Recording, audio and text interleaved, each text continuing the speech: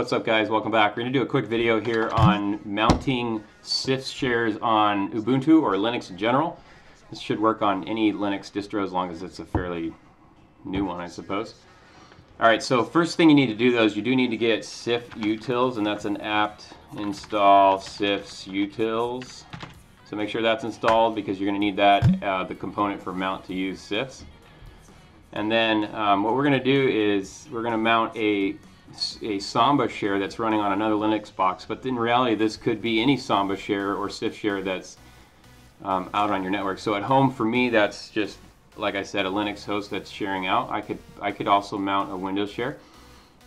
Uh, at the office I do the same thing on my Linux box and I mount a file head on a storage device which is an EMC and um, that's just serving with CIFS or Samba. Which I don't believe they're interchangeable there but it seems like they sometimes can be. I, I, don't know. That's a different technical question I have to go over. So, but what we're going to do is, uh, there's a couple ways you can do these mounts. One, you can put them in a shell script if you wanted to, a bash script, and just have it do a mount statement. Um, I don't really like that personally because one, you have to run it as root, so every time you boot your system, you got to go in and, and, execute this as root. Um, two, it, unless you put the password in the in the mount statement, it's going to ask for your username, and it's going to ask it for when you do the sudo for it, right? So you're going to enter passwords a couple times, just kind of a pain in the butt. I really just wanted the amount to show up when I reboot my system. If I change my password on the network, that's fine. I'll just quickly update the uh, credentials file. So what we're going to do in this scenario is we're going to do it with um, putting it in the FS tab entry. And um, it's actually pretty easy to do. I've got it already in there because I use it today. So we're just going to go ahead and do a cat, etc. FS tab. And you can see that I've got my, my um, network mounts right here.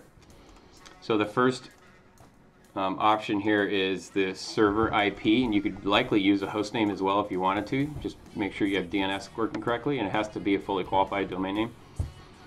Uh, unlike Windows where you can do short names, or I guess also known as a NetBIOS name, whatever. Um, so then it's so it's the server IP or host name slash the share name, and then where do you want to mount that to? So in Windows, you just you don't really do this, right? You don't need to mount it anywhere per se. That just happens on the back end somewhere.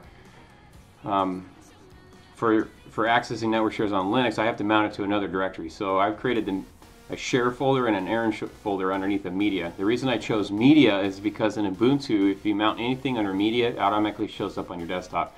So I don't have to worry about shortcuts on the desktop if I mount these to the media share or media directory. Um, and then this is the CIFS module for mount. And then these are the options specific to CIFS. So I've got my credentials file, which is G, server creds. I got the character set and then file mode and dir mode. File mode and dir mode, these are 777, 777 on both of them. And that's going to give me read, write, execute for user group and uh, everyone for all files that get mounted. I don't, you know, in some unique instances you may not want to do that. In my case, I have full admin to my files. I don't, I don't want any unique permissions. I just want them wide open for when it's mounted.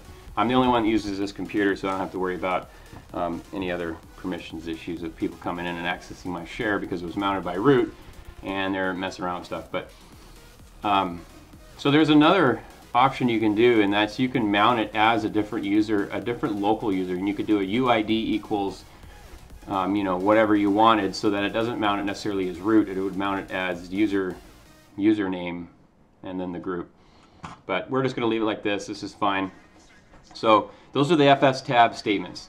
The 00 at the end, I, honestly, I don't know what that means. I'd have to look it up. It says dump and pass, whatever that means. But for this, for the CIFS mounts, it's always 00. Um, so the, the credentials file is the one that you want to pay attention to next, right? Because we're not putting username and password in here, but we need this to all happen behind when you're booting the system without any um, prompting. So if you look at I'm already in my home folder, so if I look at my, I'm not going to show you that creds because I don't, I don't really want my password out there. Even though it's not really that awesome of a password because it's local network, I still would rather not. So I made a, a, an example that literally looks the same, and inside that creds file is literally two lines, right? Username equals and the username, and then password equals and the password. So um, this is pretty simple. Literally just that format, two lines. Put your username and password in there. And then what you want to do is you can um, set the permissions of that file if you want. Oops, let me. and you set it to 600 so that it's read and write for the um, user only. So there is a benefit to that, right? In the sense that if somebody did find the file and they were on your system, they wouldn't necessarily be able to view it. And obviously, if they're root to the box, you've got bigger problems anyways because that doesn't matter. They have to be able to see this anyways. So um, what I'm going to do next is um, you could either reboot the system and it would just mount these, or you can run uh, mount dash A, which is mount all. So it's going to go through that FS tab file and it's going to try to mount every line that's listed. And if it's already mounted, it's not a big deal. It doesn't mount it again. So there you go. Boom. So I just did a sudo mount dash A, and you can see that both of these popped up on my desktop, right? Because again, I mounted them to the media folder, or directory rather, and that automatically makes them show up on the Ubuntu desktop.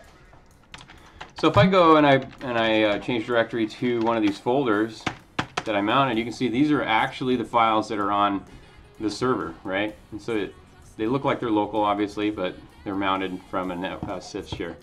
You can also browse them, of course, through uh, the files program in Ubuntu, and that's basically it. So this is literally how I mount uh, network shares on my Ubuntu box. It works really well. I can get to all my documents this way on both Linux and Windows. It's the same share.